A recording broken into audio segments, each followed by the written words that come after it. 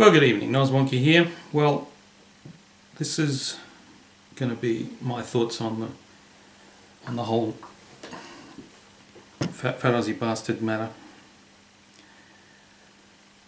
I'm going to try to do this with as few edits as possible, which is unusual for me, but ready from some notes so I remember what to say. Well, first of all, look, um, thanks to everyone again who has sent me messages of support, and also to the people who've subscribed to me in the last couple of days. It's been, uh, you know, I, ha- I hadn't expected to get a lot of new subscribers. Um, so thanks to everyone who, who has subscribed.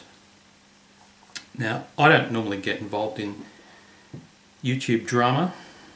I, I always stay silent when there's any any YouTube drama.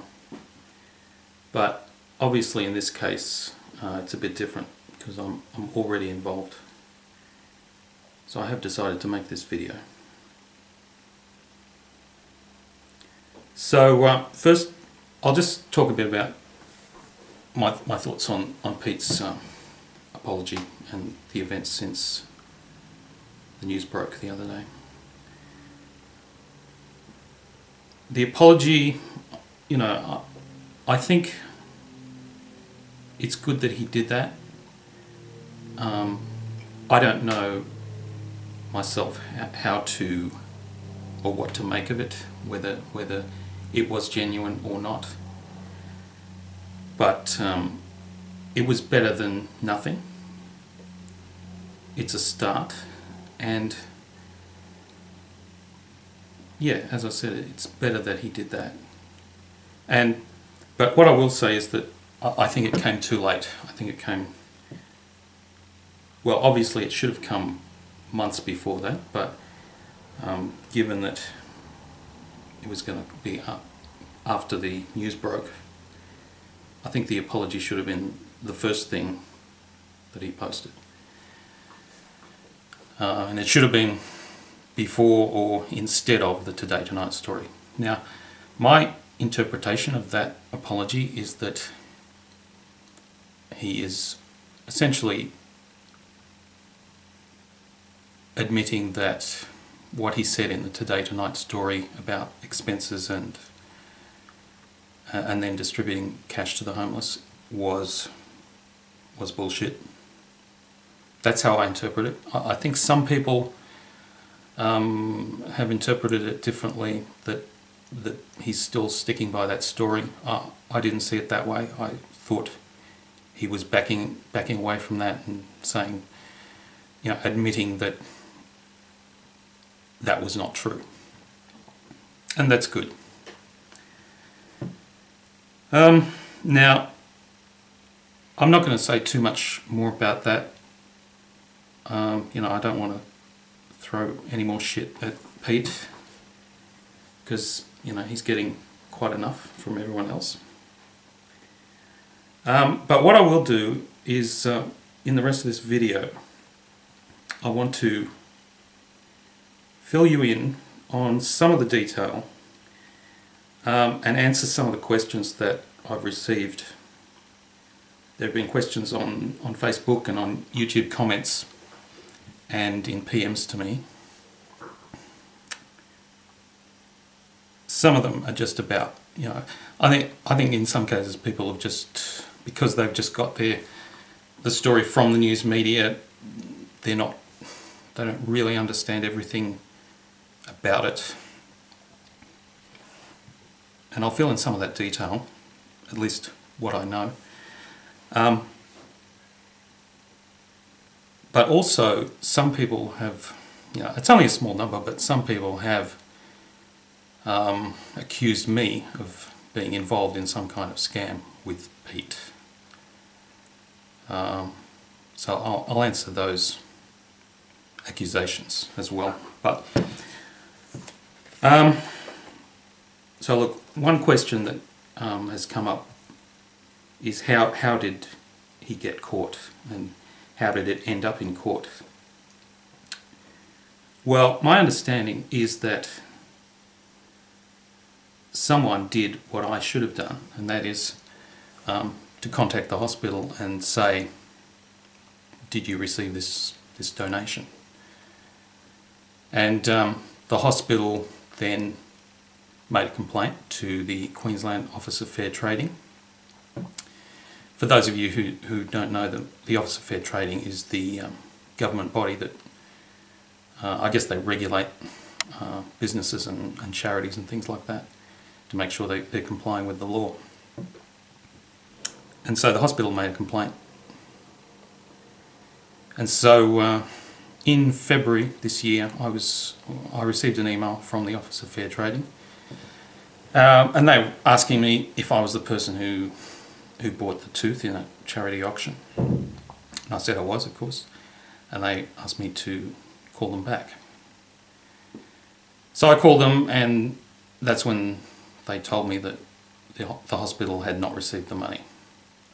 So, although I had heard accusations about this before, um, that was the first time I heard it from a, well, I guess an official source. And so, you know, I felt I felt pretty disappointed at that time. A lot of people have have uh, messaged me saying, "You must you must have felt pretty bad when all this came out." But I mean, really, I had those feelings back in February, and uh, it was really all that time. That was a difficult time. That was, you know, it, it was frustrating. Um, you know, I was asked not to talk about it, of course, and it was frustrating waiting such a long time for it to um, go to court and to be resolved. So when it finally was, I, I actually felt relieved that it was all over. Um, that said, you know, the last couple of days have been a bit hectic, um, so many messages, and but you know, it's generally been positive. Now,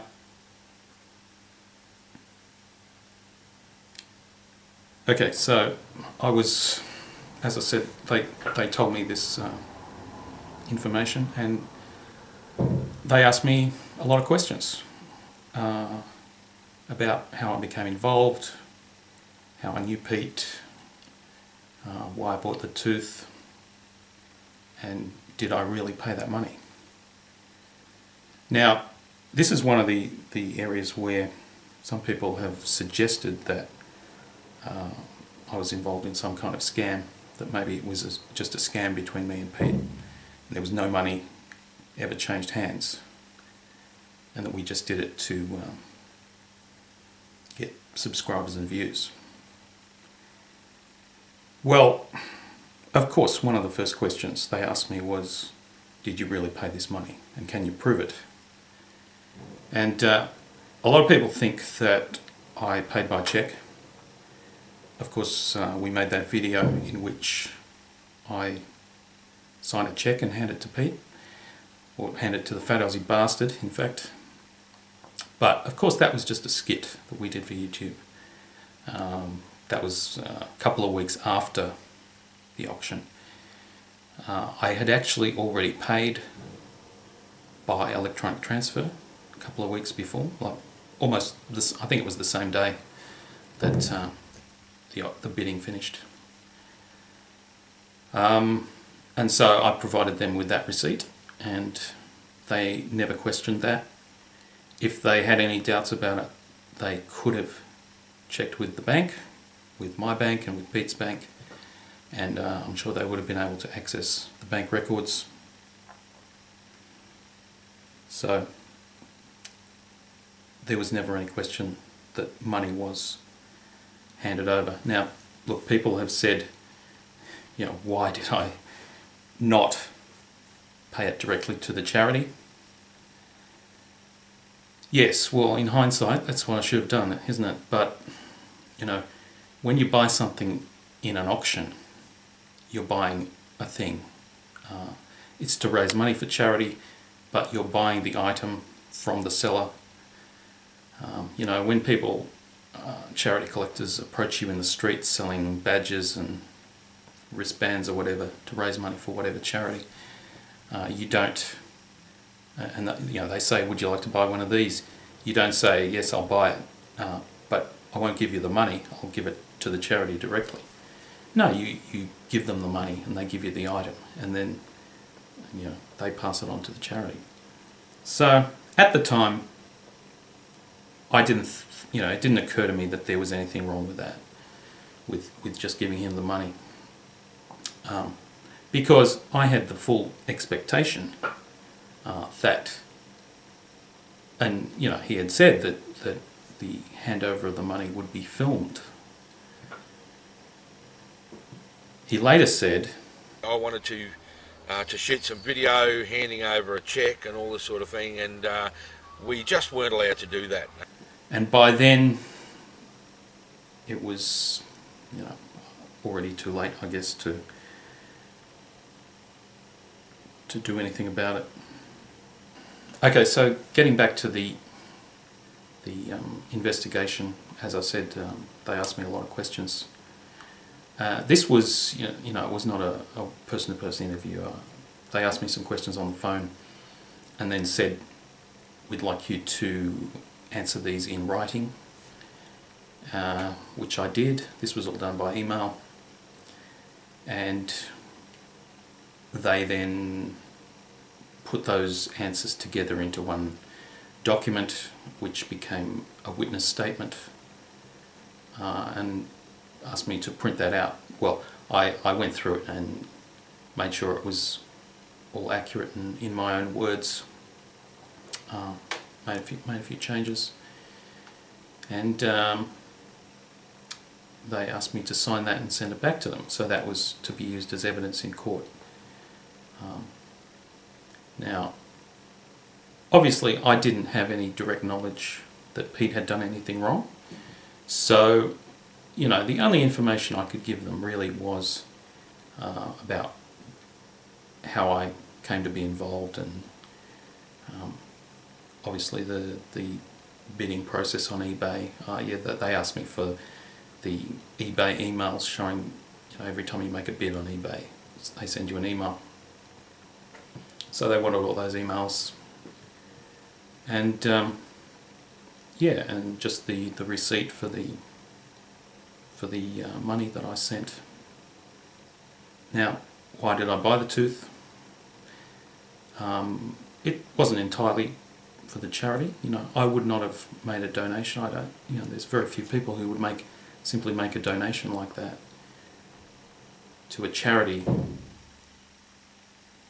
uh, out of the blue. You know, obviously it was partly a fun thing to do to be involved in um, and of course I did it to promote my channel as well.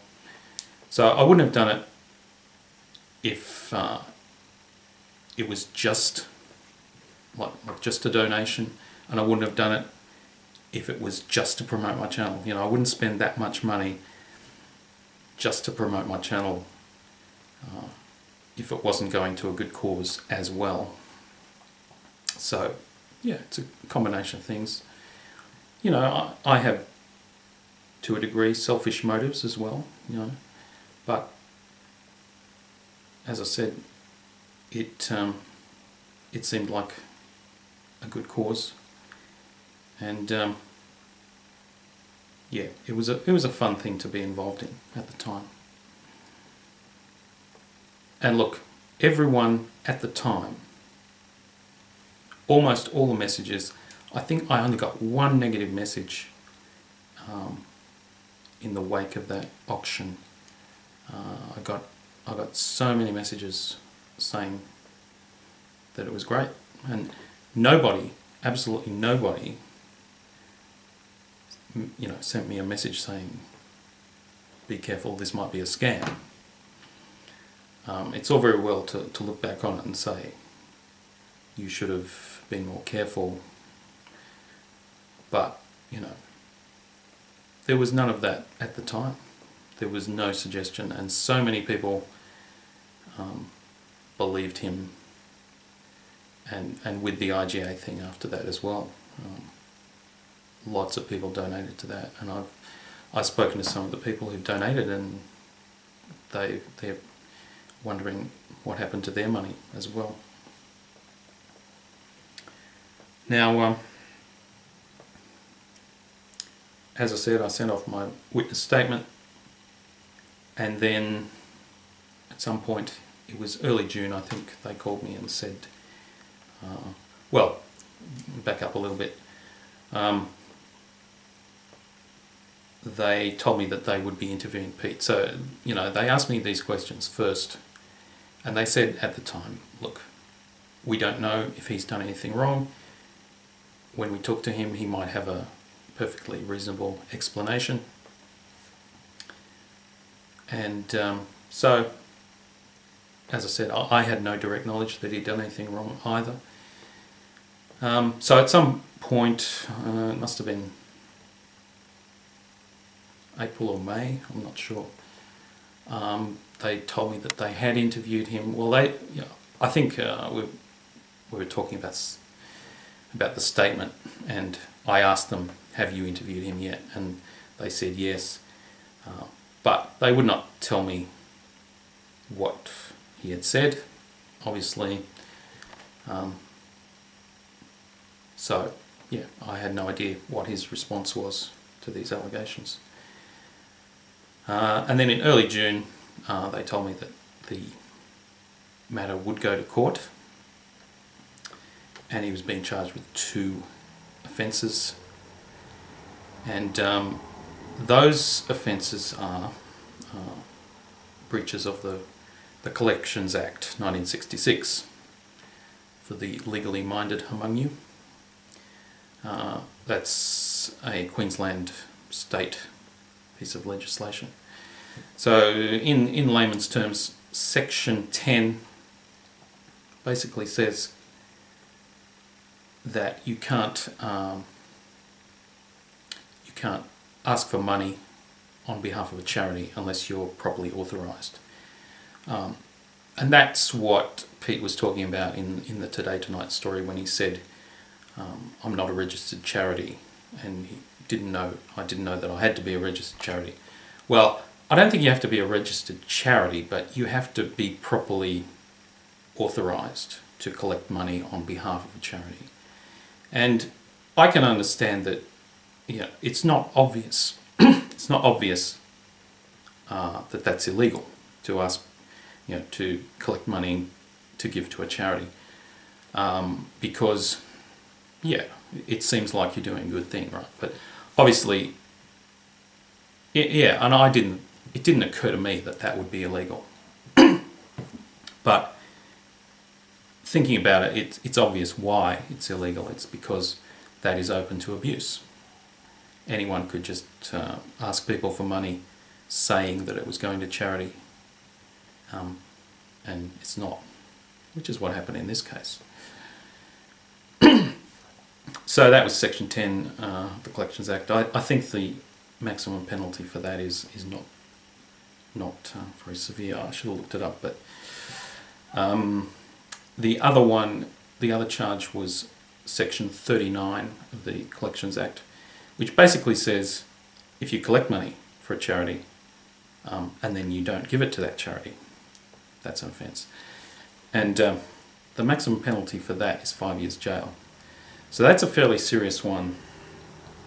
And um, I guess Pete's quite lucky to, to only get six months uh, suspended. Okay, so they told me I was going to go to court in July. They didn't tell me the date. I, I didn't know exactly when it would go to court, but I knew it would be in July. Um, and yeah, so on Wednesday afternoon, they called me and said they'd just come out of court and uh, told me the outcome. Um, and that they would be doing a media release. Now, I'll put a link to the media release. um, and really, the um, you know the Brisbane Times article, uh, sorry, the Courier Mail article, uh, It's basically just taken straight from the press release. Uh, now, look, I've been asked why I deleted my last video. Um, not my last one, the one before that, in which uh, I met uh, one of Fab's fans on the street. Uh, I deleted that because I was asked to delete it by, by someone involved. Um, and yeah, because they didn't want to be associated with Pete anymore. Uh, now, why did I put that video up? Given that I, I knew that this was coming. Uh, look, from February onwards, from when I first heard about this, I stopped commenting on Pete's vids. I, I really thought, well, they advised me to, to not have any contact with him. Um, but at the same time, I wanted to act as if I didn't know anything, you know. I wanted, wanted to make it seem that everything was normal to him. and um, couple of weeks ago, I guess it was, he commented on one of my videos and asked me whether, um, oh, he said, you haven't been commenting on my videos. What, what's wrong? You know, is there something wrong? And I felt like saying, well, I think you know what's wrong. But, you know, I didn't want to post something like that publicly, so I, just replied, no, there's nothing wrong, or you know, words to that effect. And I had shot that video that very day, actually. Um, I met this guy in the street who was a, a fan of uh, Fat Aussie Bastard. So when I was shooting the video, I was thinking, know, I'll just shoot it. He, he wants me to shoot this video. Um, and I'll decide what to do about it later. And then I got that comment from Pete, and I thought, well, okay, to make make things look like I'm, uh, you know, there's nothing wrong, I might as well post that video, which I really shouldn't have now that I think about it because um, I guess it was potentially embarrassing to the guy involved. So uh, I apologise to him for that, but yeah, I was just trying to keep the appearance of uh, there being, you know, nothing was happening like Pete was. I mean, you know, he was just carrying on as if there was nothing wrong. Another thing that I've seen in, in several comments is that um, I should sue Pete, or people have asked me if I'm going to sue him to get the money back. Well, no, because the money is going to go back to the hospital. Now, that that's part of the um, the court uh, order as a result of the uh, the resolution in court. Now, he's not going to pay that money directly to the hospital. I, I asked them about this specifically, and they have told me that uh, the State Penalties Enforcement Registry, the SPER, um, which I, yeah, I guess that's a Queensland thing, that is the government body that uh, I guess, collects penalties, um, financial penalties. Uh, I guess when you get a, a speeding fine or something like that, they are the people who come after you to get the money. So he will be paying it to them and they will pass it on to the hospital. Uh, now, if he fails to do that, then you know he'll. I guess he'll be back in court so um, getting the money back from Pete is, is not on the agenda at all because it will end up going to the hospital as was originally intended. I think that's it. I think that's all there is to say. Well, there you have it. The tooth.